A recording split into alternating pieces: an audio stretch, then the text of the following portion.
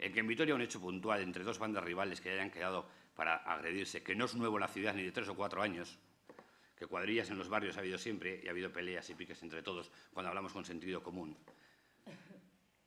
Todas estas cosas, con sentido común y con responsabilidad, sabe usted que no puede venir a una comisión de información pública a preguntarme cómo trabaja de manera detallada y concreta la Policía Local de Vitoria, porque tengo que ser responsable Así respondía el responsable de Seguridad Ciudadana a las preguntas del Partido Popular sobre la pelea entre varios menores hace unas semanas en el barrio de San Martín y que se saldó con cinco detenidos y 16 imputados. Aún así, ha asegurado que se va a reforzar la vigilancia sobre la seguridad juvenil, sobre todo en zonas frecuentadas por juventud y en los centros escolares, seguimiento y control discreto de estos grupos y total colaboración con la Archancha es la receta del gobierno del PSE ante las no pocas críticas que le han lanzado hoy desde el Partido Popular.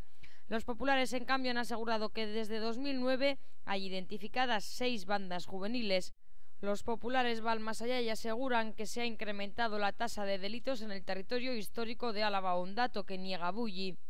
El gobierno no actúa y el gobierno pues sigue escurriendo el, el bulto mientras los ciudadanos de Vitoria pues sufrimos las consecuencias de este incremento de la delincuencia en, nuestras calles. Deje usted de hablar mal de su ciudad. Deje de hablar mal de su ciudad. Abandone usted esas estrategias del miedo, de mensajes catastrofistas, por más que piense que le pueden dar réditos electorales y que mayo está próximo. La solución a esto es para el PP más policía y sobre todo más policía de barrio. Acusan al PSE de inacción y este se defiende recordando que han abierto una nueva comisaría en el casco viejo, que han ampliado la plantilla con 102 nuevos agentes y que han puesto en marcha un nuevo sistema de comunicación.